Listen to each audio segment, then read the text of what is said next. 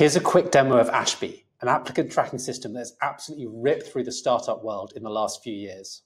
As a hiring manager, the pipeline is where you'll spend most of your time.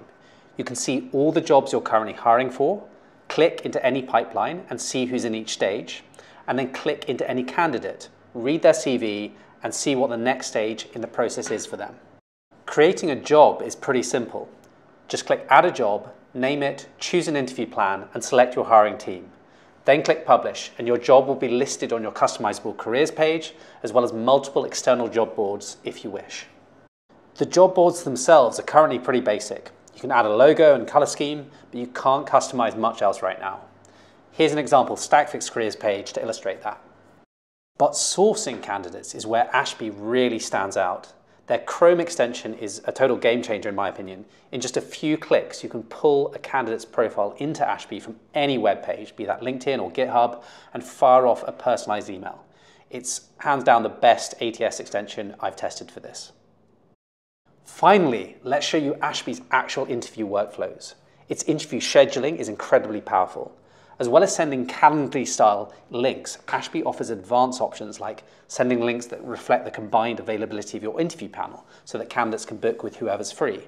You can also set minimum notice periods and even use keywords so that informal meetings in your calendar, like a coffee chat, don't block critical interviews. It's incredibly customizable and should enable you to set up any interview process you wish. Adding feedback in some ways is kind of simple. Just click feedback, give a score out of four, and write your comments. You can also customize this scorecard, making interviewers answer certain questions and grade certain scores. So that's Ashby. What's my take? Well, firstly, I love its Chrome extension. That's probably the best thing about Ashby. You can just source candidates super easily from LinkedIn or GitHub at the touch of a button. That's a real game changer. Second of all, the power of its interview scheduling functionality. It's just so customizable. You can get any process going that you want to. That's amazing.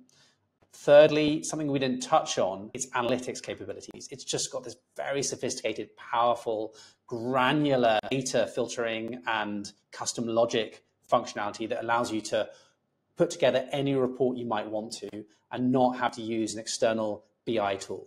That's super, super impressive. That said, it's not perfect. Um, I think the thing that you'll notice if you use Ashby is that there's a very steep learning curve. It's very complex. There's lots and lots of power in there. And some of that is not super intuitively laid out. There's multiple, multiple buttons on each page. Uh, I think in the interview scheduling settings, there's maybe 14 tabs to choose between, which is just pretty overwhelming. I think finally, the fact that its analytics are a paid add on, if you want anything more than the basic analytics, is a little bit painful. Um, would much prefer to see more of that power just in the standard package. Those are some of the trade offs you'll make. Overall, really powerful product. If you are hiring for more than five people at a time or have particularly complex and custom interview processes, then Ashby is a really strong option. If your hiring volumes are a bit lower or you're looking for something a bit more intuitive and simple, then maybe look elsewhere. But overall, really strong product.